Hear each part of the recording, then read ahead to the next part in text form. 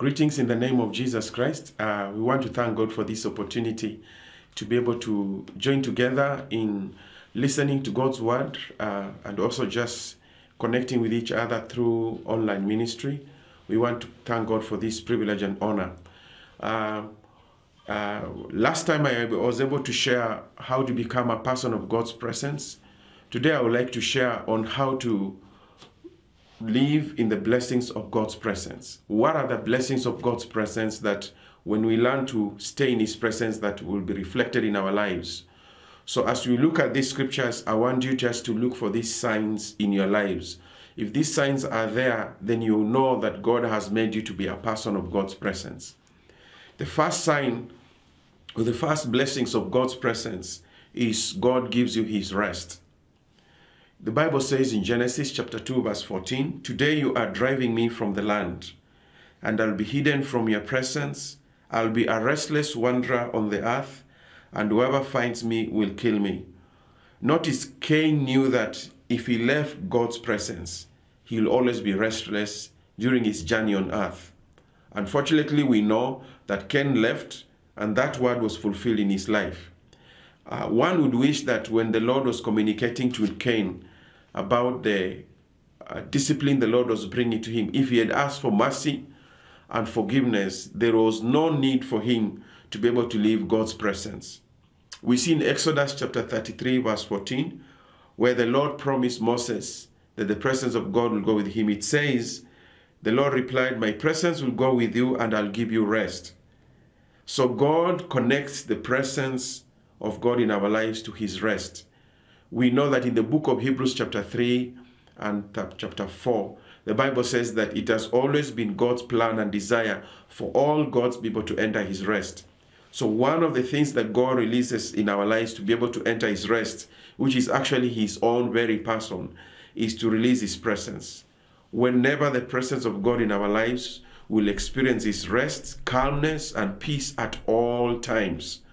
Look, take a look at your own life where you stand with the Lord in this.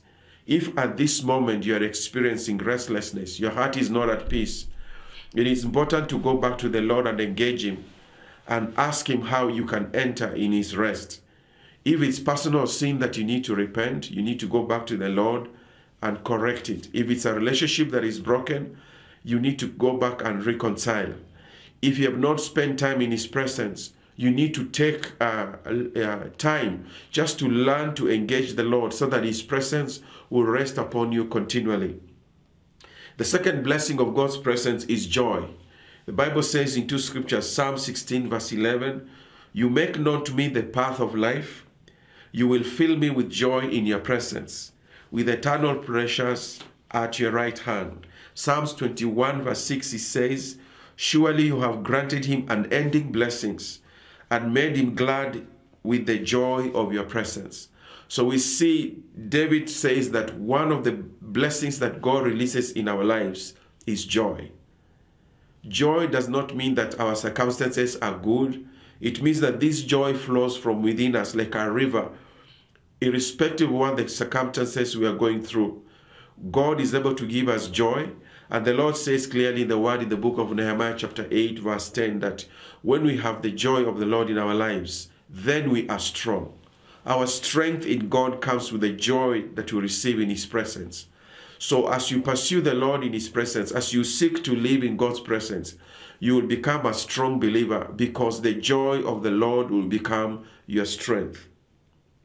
The third blessing of God's presence in our lives is success in God's ministry and work.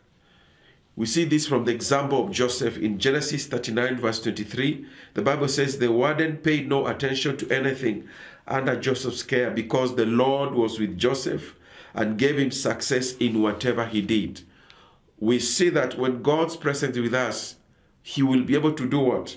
To make sure that he grants us success in the assignment He has given us, whether it is ministry, marketplace ministry, in our families, in our daily undertakings. The presence of God is a guarantee that whatever He has entrusted to us will succeed.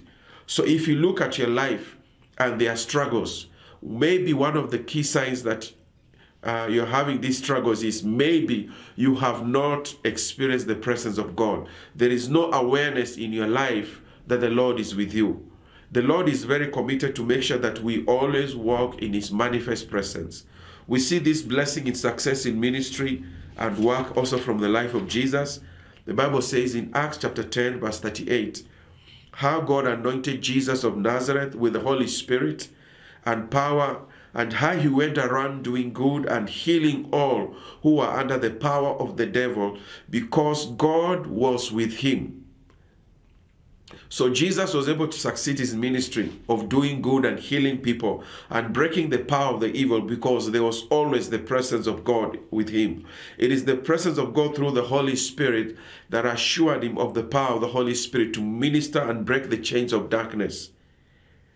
How are you functioning? Is your ministry uh, uh, uh, full of the presence of God? Is there the power of God confirming everything that you're doing? If it's not, then it means you need to go back and engage the presence of God in your life. Another blessing of the presence of God, which is the fourth one, is God's protection. In Psalms 23, verse 4, David says, Even though I walk through the valley of the shadow of death, I will fear no evil, for you are with me. Another scripture is Isaiah 43, verse 2. God promises, When you pass through the waters, I will be with you. And when you pass through the rivers, they will not sweep over you. So God guarantees us that whenever we go through difficult times, whenever we go through trouble, whenever we go through affliction, what will keep us through the process is His presence. There are times when we pray, God will deliver us from whatever is afflicting us. But there are times when we pray, God's answer is to help us to go through the shadow of the valley of death or through go through difficult circumstances. Going through waters or passing through waters represents difficult times that the Lord allows us to go through so that we mature in our walk with Him. The Lord wants us to make sure that whatever we go through, the presence of God is always with us. Whenever things are difficult around you, connect with the Lord in your heart. Go back to the Lord and connect with Him. Bring your heart to be at place of peace. Bring your heart to be a place of joy, so that whatever is happening around you does not affect your relationship with God and your relationship with other people. If your relationship with God and other people is aff affected, that is a sign that the presence of God is not helping in your life. The fifth blessing of the, uh, the presence of God in our lives through it, God is able to display the power of God in your life. The Bible says in Exodus 34, verse 10, I will be with you and display my awesome power in your life. Now, the power of God here is not just, it goes beyond the presence of God. It means the supernatural ability of God that is released on our behalf to deliver us, to help us, so that God's purposes will be fulfilled. We know after this encounter with Moses on Mount Sinai, when Moses had gone back again to pray and fast, the Lord assured him that as they pursued the journey to reach the promised land, the Lord will release his power to help them, to protect them, to provide for them, to encourage them, so that they be able to reach the promised land that he had assured them to settle in. We too have a place of inheritance that the Lord wants us to settle in. The only thing that will help us to reach that place is when God's power is, is displayed on our behalf because of the presence of God. So, one of the great benefits of the presence of God in your life is to see a practical, tangible, and visible demonstration of the power of God for provision, for protection, for deliverance, and for guidance in your life at all times. Another reason, another blessing of the presence of God in our lives is uh, found in Numbers chapter 17, 1 to 8, where the presence of God releases revival, resurrection, and fruitfulness. In this passage, the Lord said to Moses, Speak to the Israelites and get 12 stars from them, one from the leader of each of the ancestral tr- tribes. Write the name of each man on his staff. On the staff of Levi, write Aaron's name. For there must be one staff for the head of each tribe. Place them in the tent of meeting in front of the ark of the covenant, where I meet with you. The staff belonging to the man I choose will sprout, and I will rid myself of this constant grumbling against you by the Israelites. So Moses spoke to the Israelites, and their leaders gave him twelve staffs, one for the leader of each of their ancestral tri- tribes. And Aaron's staff was among them.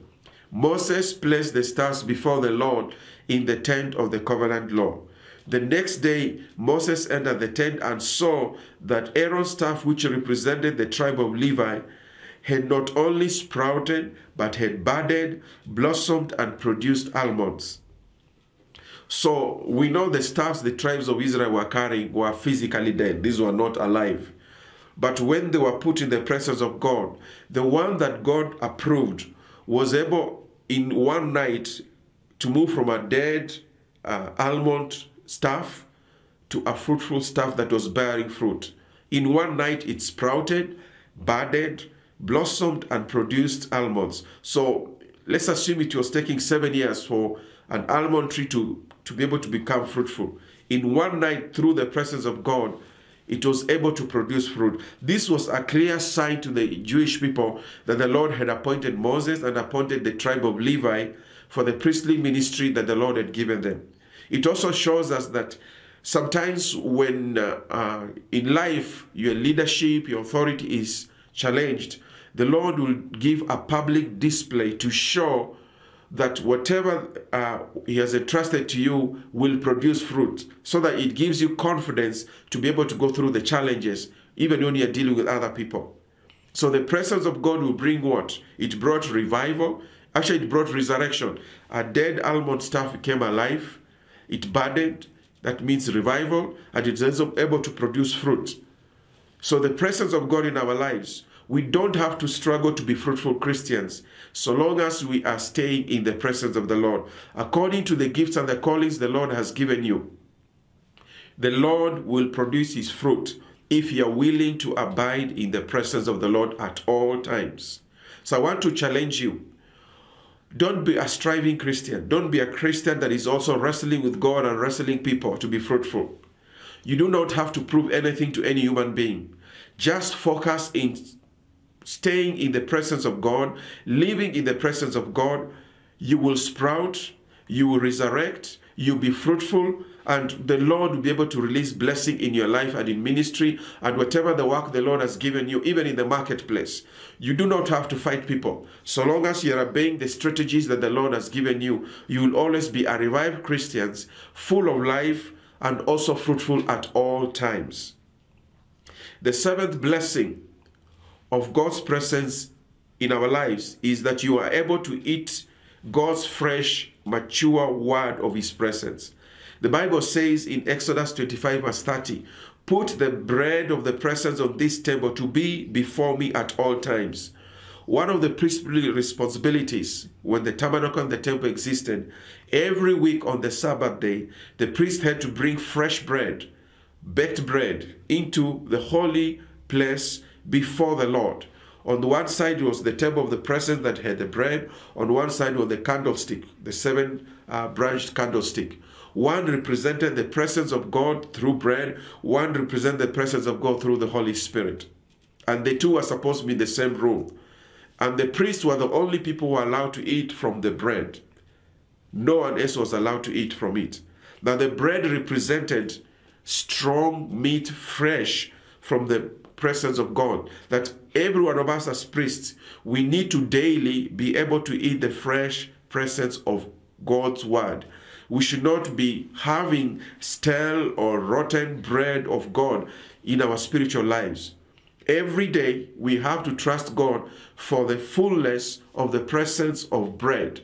Now we know in the Bible, the Bible teaches there are three stages of a believer. New believers are to take God's word as milk. Growing believers are to eat the bread of God's presence as what? As their daily nourishment. When you enter the Holy of Holies, the Bible expected uh, us to partake of manna, which is for the mature believers. Or in the New Testament, it says, says the strong meat of God's word.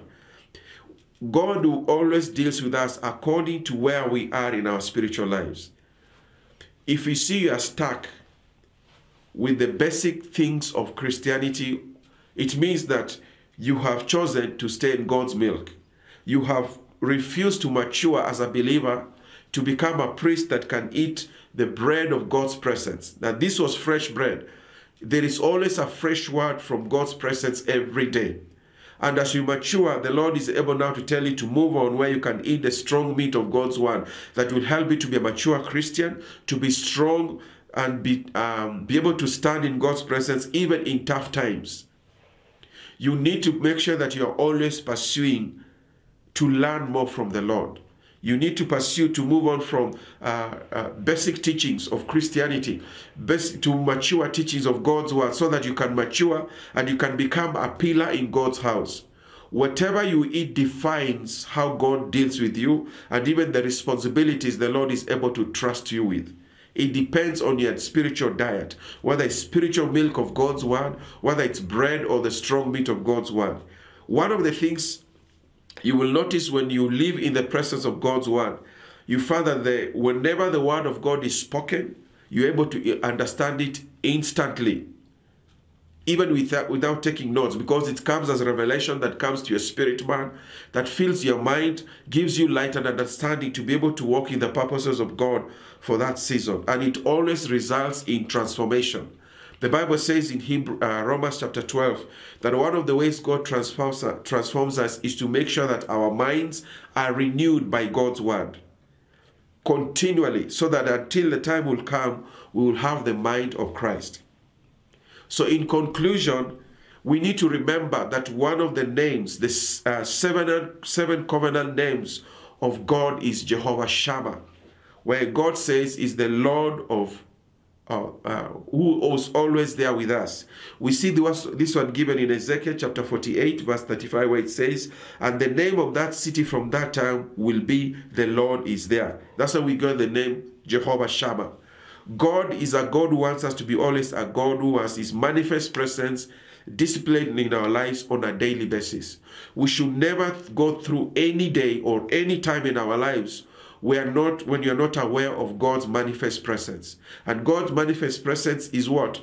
Tangible, uh, something you can experience every day, just like we have known God as Jehovah Jireh or Jehovah Rapha, the Lord who heals us, or the Lord who fights our battles. The Lord wants us to know Him through Jesus Christ as Jehovah Shammah, the Lord who's always there manifesting daily to dwell in us every day so that He walks with us all the days of His life. So I trust that you'll continue to pursue God, like Psalms 42, verse 1 says, that you'll always seek the presence of God in your life. May you experience the blessings of God's presence as you do it. God bless you. Uh, let us pray together. Father, in the name of Jesus, we want to thank you that you have not only called us to become a people of God's presence, but you assure us in your word when we do you shall release the blessings of God's presence in our lives. We pray that these blessings of God's presence will overwhelm us, overflow through our lives, and even be able to touch people and touch situations around us all the days of our lives. So we pray, Father, for an increase of the presence of God in our lives. We pray for an increase of God. We pray that we shall be carriers of your presence. We want to thank you and we want to praise you. In Jesus' name we have prayed. Amen. God bless you. See you next time.